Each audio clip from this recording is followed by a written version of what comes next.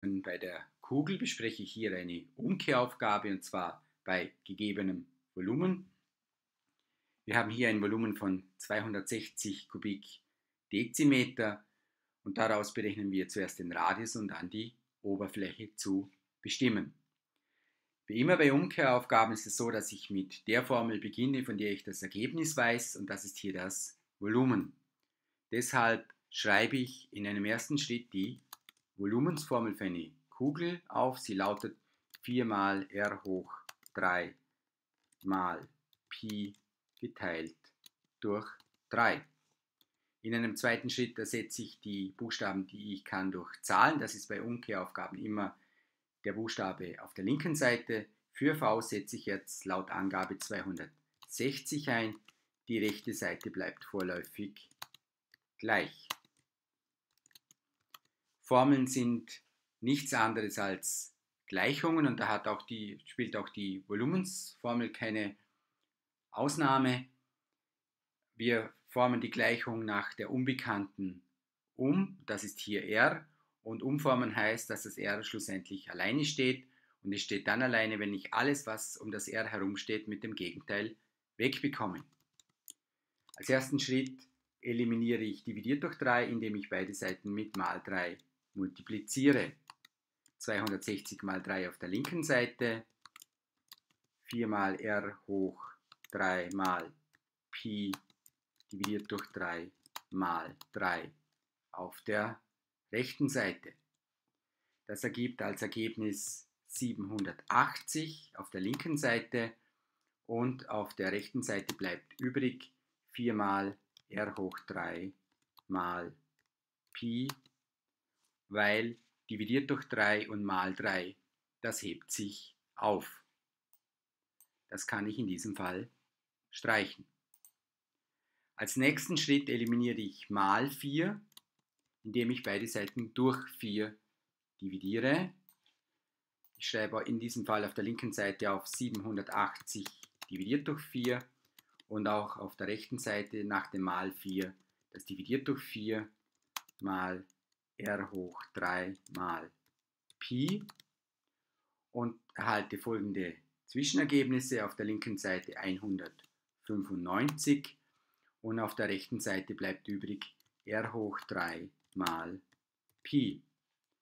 Mal 4 und dividiert durch 4, das kann ich eben kürzen.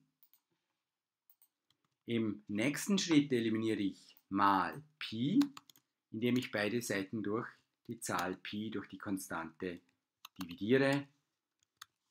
Das heißt auf der linken Seite 195 geteilt durch Pi und auf der rechten Seite r hoch 3 mal Pi geteilt durch Pi ergibt auf der linken Seite ein Zwischenergebnis, das wir nicht runden sollten, von 62,070 und auf der rechten Seite bleibt nur r hoch 3 übrig, weil mal Pi und dividiert durch Pi können wir wieder kürzen.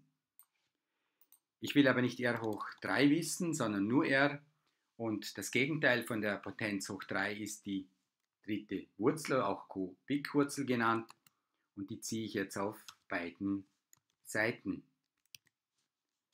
Das ergibt auf der linken Seite eine Rechnung, die dritte Wurzel von 62,070 und so weiter ist gleich r, weil r hoch 3 und die dritte Wurzel heben sich auf. Und das kann ich jetzt mit dem Taschenrechner berechnen, die Kubikwurzel von 62,07.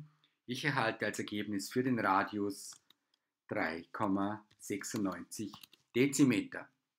Und damit habe ich das erste Ergebnis erzielt und das formuliere ich dann auch noch in einem Antwortsatz. Der Radius der Kugel beträgt 3,96 Dezimeter.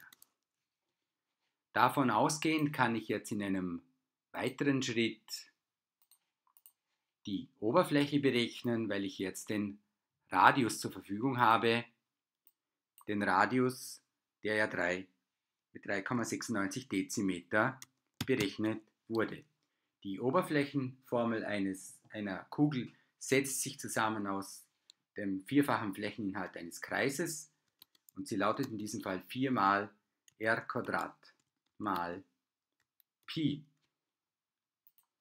Im nächsten Schritt ersetze ich r durch die zuvor berechnete Größe von 3,96, das Ganze wieder zum Quadrat mal Pi. Und wenn ich das in den Taschenrechner eingebe, erhalte ich das Ergebnis für die Oberfläche und das beträgt in diesem Fall 197,06 Quadratdezimeter. Auch diesen Sachverhalt würdige ich mit einem Antwortsatz. Die Oberfläche der Kugel beträgt 197,06 Quadratdezimeter. Das war eine Berechnung bei der Kugel, eine Umkehraufgabe, wo wir aus dem Volumen das, den Radius und die Oberfläche berechnet haben. Ich hoffe, das Video hat euch weitergeholfen. Bis bald bei einem neuen Video hier auf diesem Kanal.